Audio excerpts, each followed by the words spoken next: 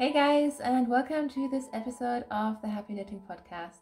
My name is Julia, and I'm coming to you from Germany. Today is Friday, it's the 19th of June 2020, and I am so happy that you're joining me today to talk about some knitting and some yarn.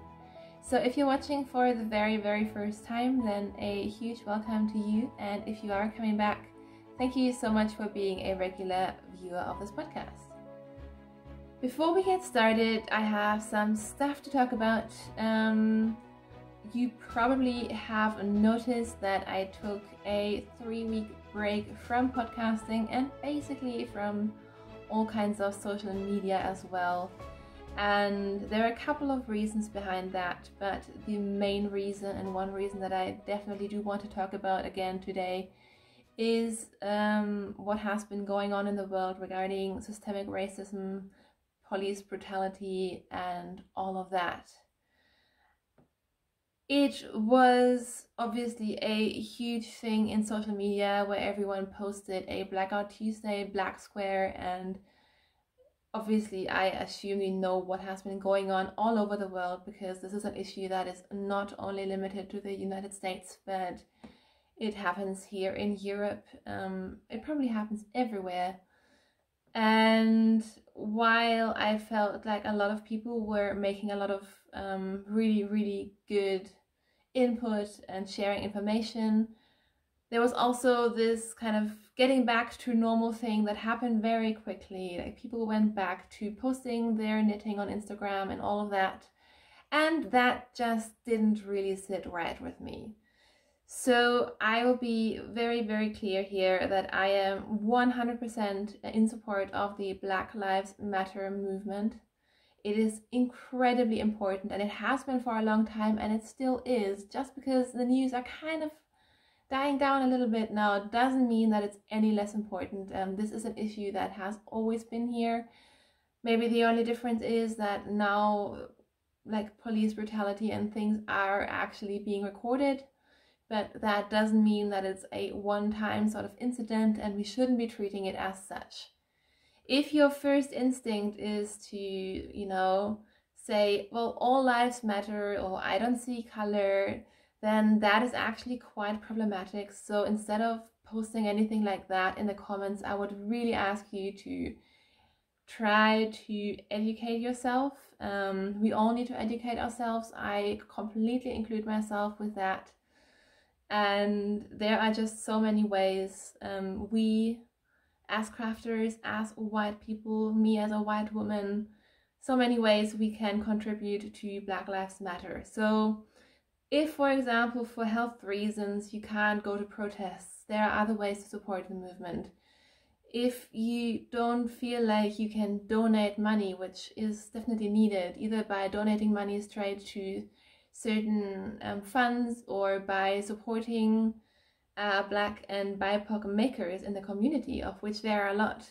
You can share information, you can highlight um, makers of color, you can do um, a lot of things. And again, I think we all need to educate ourselves and there's really no excuse to say I don't know where to start because we can all use Google. Um, most of us, I am pretty sure, have a Netflix account on which there are many documentaries if you want to watch something.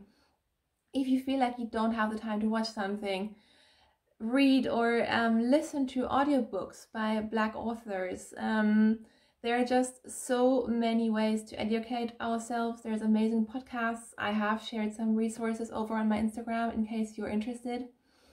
And I just want to make it perfectly 100% clear that no, we cannot just go back to our knitting as much as we would like. This is not something where you can say, well, I would like to keep politics out of my knitting because this is not about politics. This is about discrimination of certain groups of people, and that is just not okay. And I think it is very good that it is something that is talked about now, and I just want to be very, very clear about that. Um, so yeah, here we are. Um, that is reason number one why I just kind of disappeared for a while because quite honestly, I just didn't feel like posting a pretty photo of my knitting and like pretending this isn't happening because our like black and BIPOC members of the community, they can't just pretend this isn't happening. So, yeah, why can we? So, I hope I have kind of brought my point across. I find it quite difficult to talk about these things, which is not supposed to be an excuse. Um, I just sometimes I feel like I am not the most eloquent person, but that is kind of the stance that I am very publicly taking here, and I ask you to please be respectful of that. I usually don't moderate comments, but if there are comments that make this less of an inclusive space than I want it to be, I will actually delete them, and I hope you understand. So that is basically why I have decided to take a bit of a break. Some other things came up during that time as well. Um, so, for example, I started maternity leave. Thank goodness. So, um, and we also went away for a little bit, and we are moving in three weeks.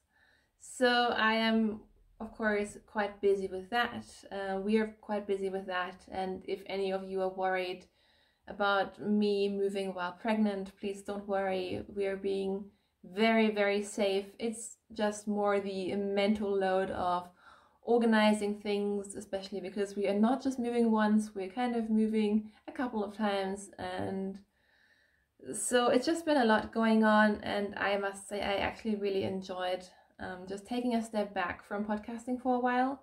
And now I'm really happy to be back because I have a ton of finished things.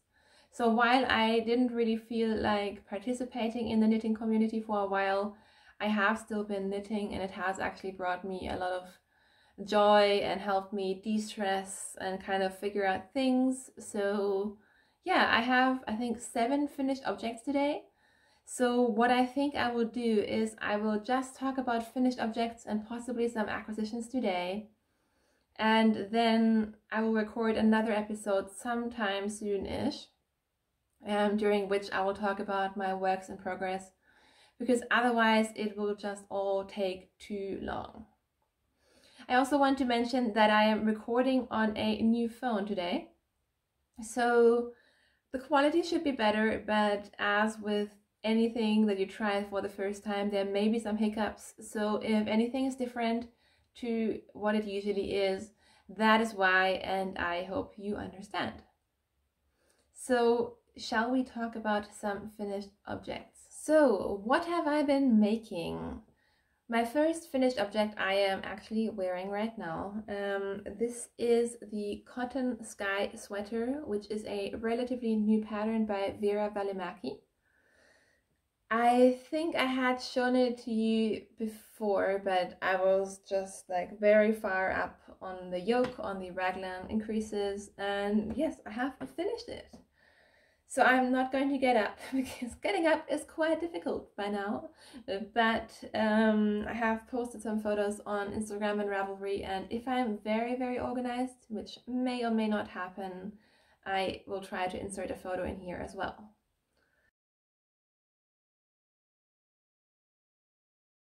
So this sweater um, is a top-down raglan sweater and I made some modifications. Um, all of my modifications I have been quite good at writing them down in my Ravelry project pages. So if you have any questions about anything that I talk about today, the first place that I would recommend you go is to those project pages. There's always a link right underneath each and every video that I post. And then you can just click on whatever image uh, is the, uh, the project that you want more information about. And I have been getting better at keeping notes of modifications. So for this sweater, I wanted to make sure that I could still wear it even while quite pregnant. So I did modify it quite a bit.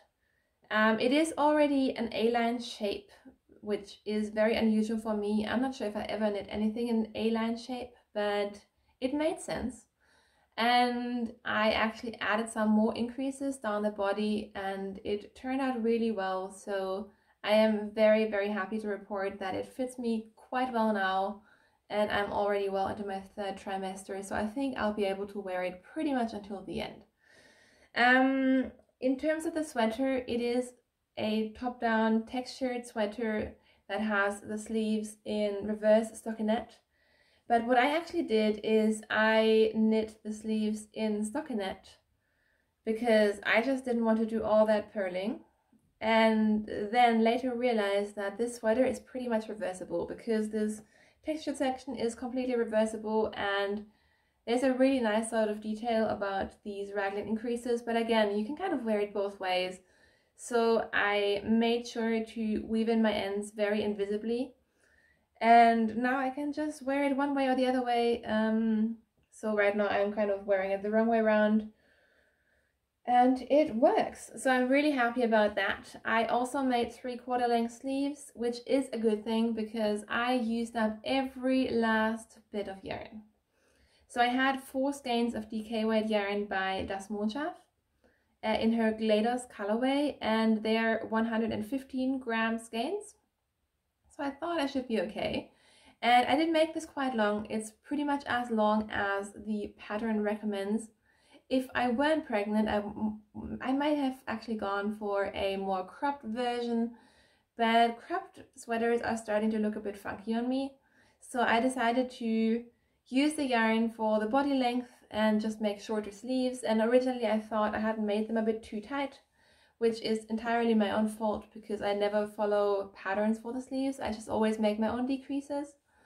But this being a superwash yarn, I washed and blocked it and now they're pretty much fine. So very happy with that. Um, so yeah, this is my sweater. It did take a little bit longer just because there's a lot of purling in this. Um, so you had to pay a tiny bit of attention while knitting, but I really like it. I mentioned a while ago that I got this yarn specifically to replace a favorite sweater of mine that was also sort of like big and textured because I felt that in the washing machine and I was just heartbroken over that. So this is my replacement sweater and it serves me really, really well. I am wearing it for the first time today. Um, and I kind of thought, well, maybe by the time I finish this, like I tend to run quite hot lately anyways. Um, and it is supposed to be summer, maybe I won't get any wear out of it. But for example, today it is cold, it is rainy, and we've just been having crappy weather for a while. So I can actually wear this quite well and I really, really enjoy it.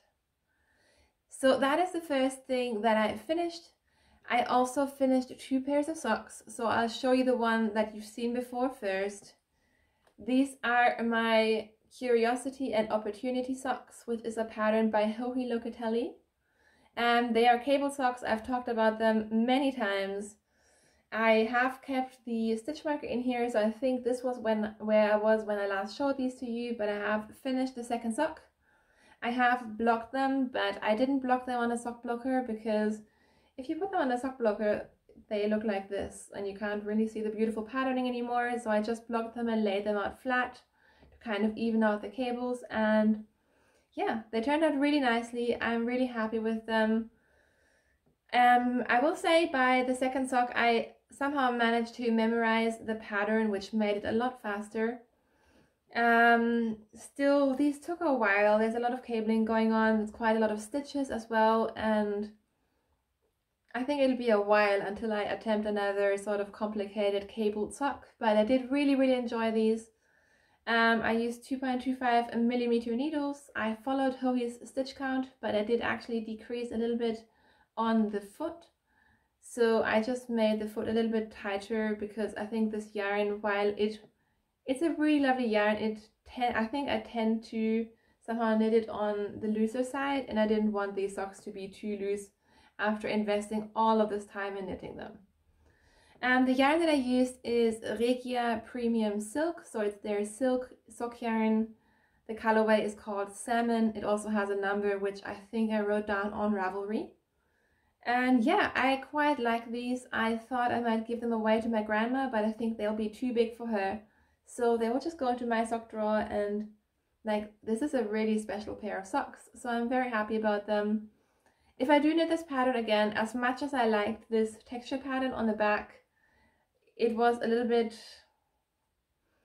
it wasn't complicated, it was super simple, but it did slow me down quite a bit. So if I do make these again, I may just make them in stockinette with a cable.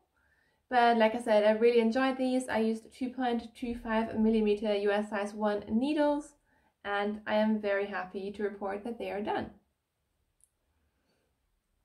And then the next pair of socks that I finished, I hadn't even shown you as a work in progress, but I did show you the yarn and a couple of you actually wrote to me saying you're, you're quite interested in how this yarn will knit up.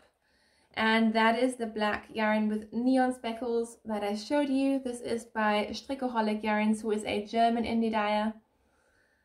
And I had explained last time I recorded how Kai has been asking for a pair of socks out of a yarn that is black with neon speckles and that is something that is very hard to find. Definitely very hard to dye as an indie dyer. I found it in the dye shop and so I have finished a pair of socks for Kai because he was very very excited about um, this yarn so I figured why not just cast them on and knit him a pair of socks. So these are plain vanilla socks. Again, I didn't put them on sock blockers. Um, I just did a one by one rib and then a stockinette sock with a fish lips kiss heel. And they're really fun. I'm not sure if you can tell the speckles, but yeah, they turned out so lovely.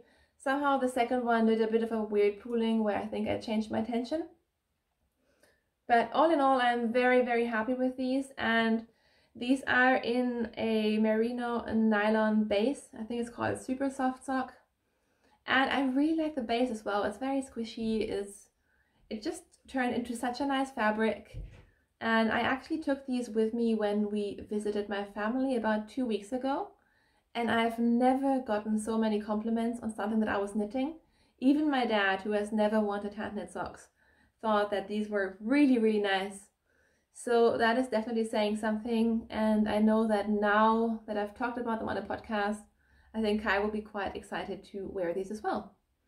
So again, I used my usual 2.25 millimeter needles and I did 68 stitches because Kai has slightly bigger feet than I do. So that is it in terms of the socks that I have finished. Next up, I also finished one of my blankets, which I am very happy about because I have so many blankets on the go. And at least the baby blankets I kind of want to have done before a baby arrives. So the blanket that I managed to finish, it turned out quite small. I just decided I was done with it and not every blanket has to be a huge blanket. So this is the Garter Ripple Squish blanket, which is a design by Louise Tilbrook. And I think it's originally designed to be in stripes, but then she did a marled version where she, I think, held three strands of sock yarn together. And I decided to use her pattern to use up some old yarn that I had actually started um, to knit another blanket with, um, but that is never going to happen. And so the yarn that I used, I had all these 25 gram balls of Jamieson and Smith 2-ply jumper weight, which is a 100% non-superwash Shetland yarn. I really like it. It is very, very woolly. It's one of my favorite yarns to knit um, colorwork sweaters out of. And I just held two strands double and created this sort of like rainbow blanket. And yeah, it's very, very simple. I really enjoyed working on it because you don't really have to think about it too much. It's a lot of garter stitch with some feather and fan. And yeah, I just wanted to have it off the needle. So I finished it. I didn't use up all of my yarn, but I was kind of at the point where I was missing some of the colors and I didn't want to make it bigger, eh, but then kind of change my color scheme as I went. So I just kind of left it as it is. I blocked it. I washed it first, obviously. And it is really nice and woolly. I really like it. And like I said, I'm just so happy to have this blanket done. So that is one project that I finished that had been on the needles for a while and like just looking at these rainbow colors makes me very, very happy. And then I have a couple more finished objects which happened quite recently. I have been, you may know, um, I've been trying to work through my stash and just get some yarn out of stash and the other day I was watching Amy, who is uh, Amy Florence and the dyer behind Stranded Dye Works and the Stranded podcast. And she's doing some kind of um, Marling knit along. I'm not sure what it's called. But she had done some marled hats and I was like, that looks really fun. I want to do that too. So I just grabbed some leftover mini skeins and random bits and bobs that I had. And this is the first hat that I made. And this is actually um, the leftovers from my Cozy Corner shawl, which I finished quite recently. That was knit with mini skeins of Wollmeise and I had some of them left over. So I just kind of held two strands together and then changed colors and I made this hat. And I made a knit hat. I made it in stockinette. But then I do really like sometimes how reverse stockinette looks, especially with marling. So I just turned it inside out, um, woven the ends on the stockinette side, and it is a reverse stockinette hat. I didn't use any pattern for this. I think I cast on 66 stitches, possibly. Um, please don't ask me about my hat recipes. I kind of make them up every single time I make a hat, and I can never remember what I did afterwards, so hats are just something that I just improvise on.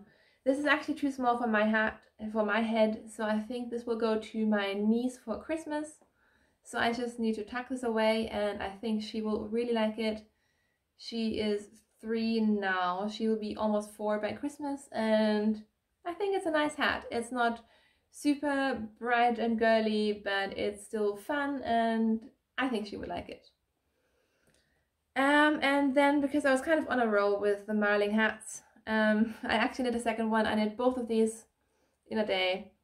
So for this, I actually held three strands of yarn together. I held a strand of DK weight um, from Hedgehog Fibers, which I used to knit a hat before.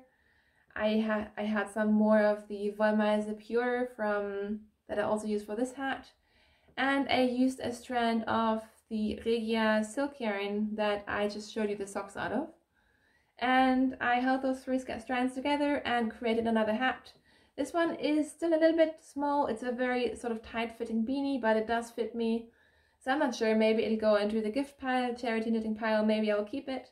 I do really like it and the original hat that I knit out of this pink yarn, I knit with 8 drops mohair and that was super itchy on my head.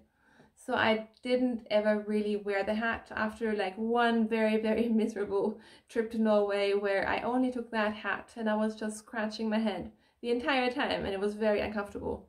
So this could just be a replacement hat for that. And yeah, just some yarn out of my stash. And then lastly, another thing that I knit, and I love this so much, is I knit another flax sweater by Tin Can Knits. So you may know the flax sweater because it is a very, very popular, I think, free pattern by Tin Can Knits and Tin Can Knits are just amazing at creating patterns that come in a huge variety of sizes. So they start with newborn sizes and go up to men's very large sizes. And they have the flax and the flax light, which is I think the fingering version. This is the DK or possibly worsted weight version. I don't really know. I've knit both of them plenty of times and at the very beginning of my pregnancy, actually, I knit our baby boy a fingering weight version out of a sock yarn, and I decided to just knit another one out of some DK weight yarn. So the yarn that I use for this is Sandnes Garn Peer Gynt. I bought quite a bit of that yarn in different colors again when I found out that I was pregnant because I wanted to do another blanket, but I kind of went overboard with all the blankets that I thought I could knit and also while I bought a lot of yarn, I didn't really buy enough for a blanket. So I've just been using it up for different baby accessories and garments. And I've knit through quite a lot of it, so I'm quite happy with that. So for this, I used three 50, 50 gram balls. Um, like I said, it's DK weight. And I just kind of did this fun color blocked gradient sweater. I pretty much follow the pattern to a T. It's the zero to six month size. I'm trying to make things that are a little bit bigger because I feel like most of the things that I've made are quite small. And it turns out that we will probably be, or we might still be in a quite cold place um, when winter rolls around. So some warm sweaters will definitely be needed. So yeah, this is the flax um, sweater and I think it is absolutely adorable. I just kind of changed colors when it felt right and it turned out pretty well, I think. When I didn't, I hadn't done the sleeves yet, I was worried that this looks kind of boring and maybe not the most exciting baby sweater, but now that it's, that it's done, I really like how simple and classic it is. And yeah, I think we should get some good use out of that. This yarn, I have mixed feelings about it. I remember the first time I felt it, I was kind of surprised because it's quite woolly. I don't want to say it's itchy, but it is woolly considering it is a superwash yarn. And then when I came back to it, I kind of changed my mind about it, but I think it depends on the colors that you use. So especially this gray section, it is not super soft, which I totally don't mind and it'll be fine for a baby knit as well because it's not like I'm going to put this on him with it, without anything underneath. Um, so if you're looking for like a woolly yarn but you still want something super wash, this may be a good middle ground. I don't know, but I do quite like it. Like I said, I have a couple of colors left in my stash and they're just kind of fun colors to work through. It's relatively affordable. I think I bought it on a sale even. And yeah, so that is the last thing that I knit and I do really, really like it.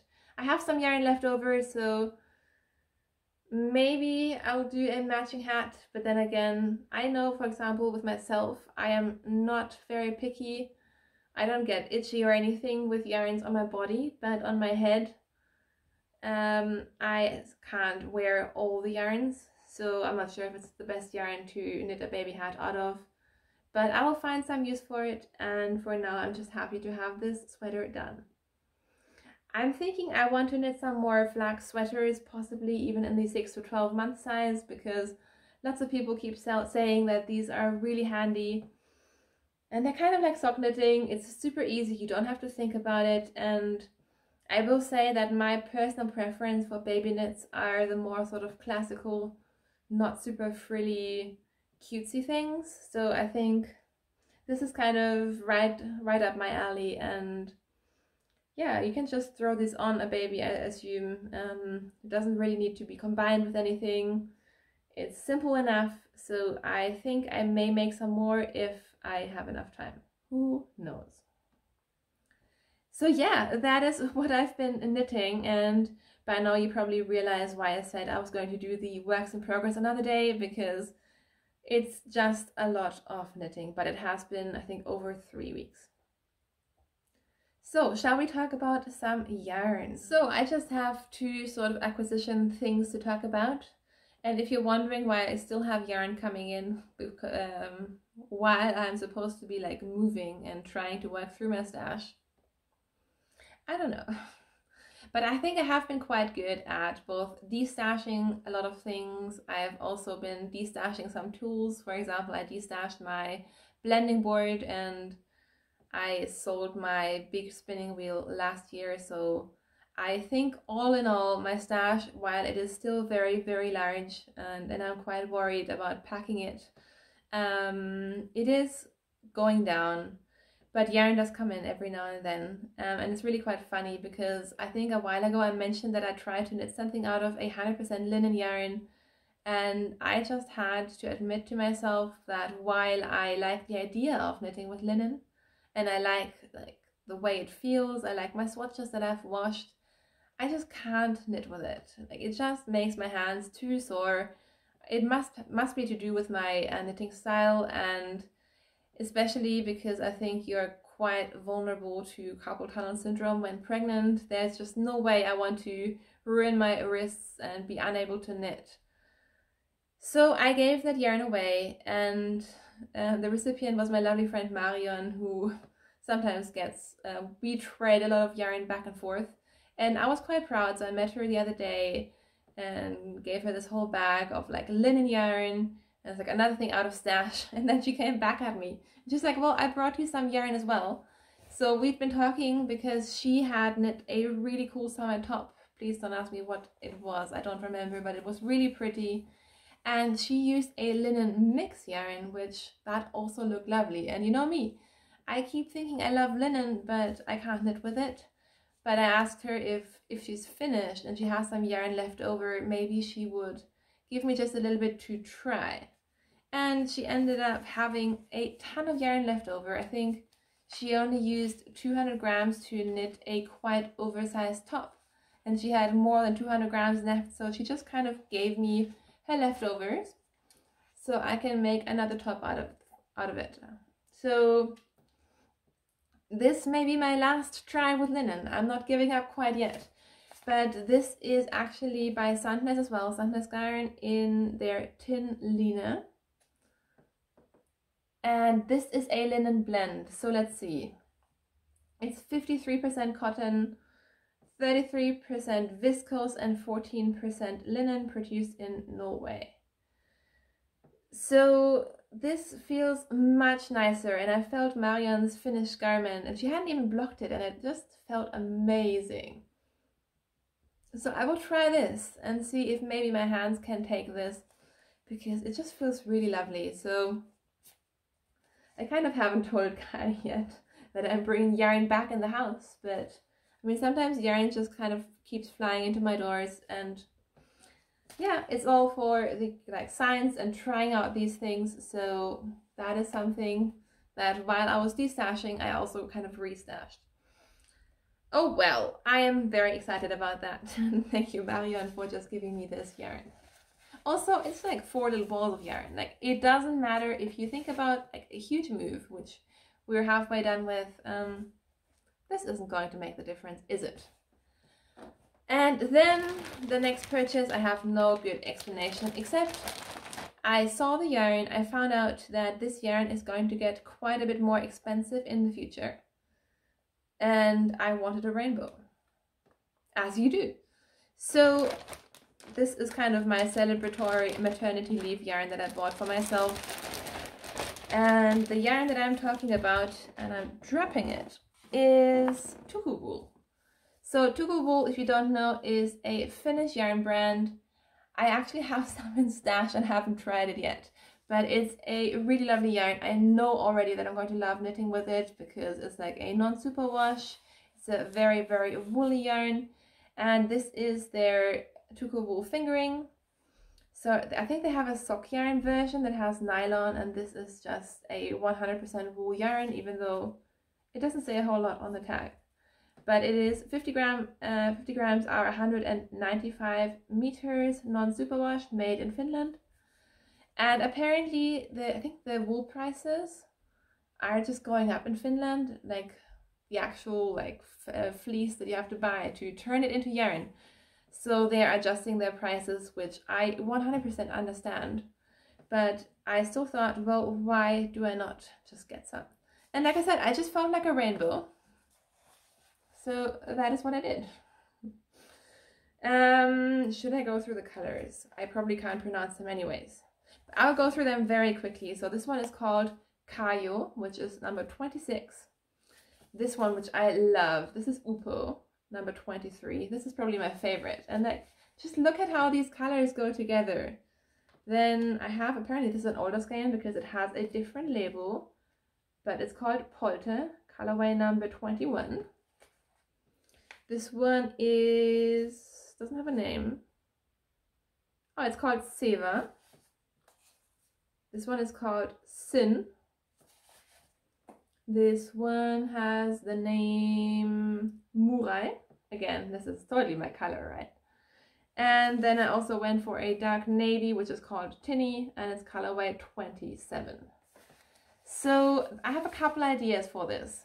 First up, I have quite a bit of undyed woolly yarn in my stash. So, I mean, like combining this with like a light gray would make an awesome like big blanket or oversized cardigan. Or of course I could just make a rainbow garment without any neutrals, but I'm not sure how how much I would really wear it. I haven't decided yet. Then again, I could make baby things or what I could do, I mean, this yarn again is perfect for color work. So like imagine like a pair of mittens out of these two. Or these two. And like they just go so nicely together. It's kind of a random palette that i picked but i really like this palette. So this is something i don't really know what i'm doing with this yet.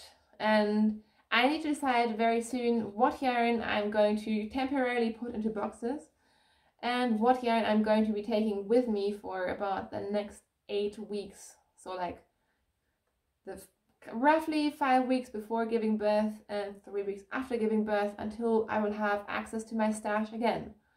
So either this will be packed away or I'm thinking maybe I will just cake all of these up and like this will be quite a good yarn to just have caked up and ready to go and then I can just cast on whatever strikes my fancy at that time. So yeah, I mean that is a general thing that I need to do. I need to work out what I'm doing with my stash. Like I said, we're moving a couple of times, which is making life very, very, very difficult. And I'm not putting my yarn into storage because I'm too worried that something will happen to it. So I kind of have a temporary placement for my stash and then I will be reunited with my stash. And then eventually it hopefully will go to the UK. So I need to figure out what I want to knit, which is going to be very difficult because you know me, um, when I go on a two week vacation, I take way too long to decide what yarn do I need to take with me. So now planning for like an eight week time frame. And yes, I know, like I will have a newborn probably I won't be knitting, but who knows? Like, what if I do want to be knitting? I need to plan all these things and I haven't really gotten a clue yet. But I will probably take my yarn winder with me and just take a bunch of skeins and I will work something out. This is something yet to be determined. And yes, um, I may have also packed my clinic bag and spent most of my time debating what knitting to take into hospital. And again, I know that I guess 90% chance is that I will not knit a stitch. But what if I want my knitting? What if I do need it? And what do I want to knit on? I know I want to bring socks. Like that is done and decided, but I still haven't managed to pick yarn for that because apparently I'm just a crazy person. Oh, well, that was a long ramble on about yarn and moving and all of that. Um, so that kind of leads us very nicely into life in general and what's been happening, but I think I've already talked about most of it. And the reason why everything is so complicated is essentially because we were meant to move to the UK in April slash May and then coronavirus happened and our move didn't happen. And we had rented a house and I have no idea what's happening with that. Please don't ask me like any difficult questions because for most of them the answer is I just don't know right now. So I know that in about three weeks time um, we will be moving back to my hometown in Germany. Um, thankfully my family has a very big house so we kind of worked out a temporary solution and then we will probably go somewhere else from there. That's all I will say. Um, so we are packing up our apartment. Um, we have we are definitely moving away from Munich. Like there is no stopping us on that front. And we are putting some stuff into storage. We are putting some stuff into a temporary place, and I am of course taking a lot of stuff with me that we will need. And we're halfway through sorting all of that out. So right now we have a ton of Excel spreadsheets. Um, just planning out things and writing down tasks. And we're selling a little bit of furniture and also luckily some of the furniture in this apartment belongs to our landlord so we don't need to worry about that. Really the only difficult thing is is my stash um, because like books and stuff you can just put into storage and it's fine but i am quite particular about my stash. Uh, i'm sure you can relate so yeah, that's what's happening. And while we are here, I'm just going to keep recording. And then once I am at my parents' place, again, I feel like I'll probably still record something because I will have a bit of time on my maternity leave. Um, and then obviously once baby is here, I am making absolutely no promises. Um, who knows, maybe I'll be back super quickly. Maybe I'll take a year off from podcasting. I really don't have any clue, and I'm sorry about that, but I'm just not putting that pressure onto myself. But as per usual, you know me, um, I don't really ever disappear. So if you want to kind of stay updated with what's happening on a day-to-day basis, the best place to follow me is on Instagram where I'm the Happy Knitting Podcast.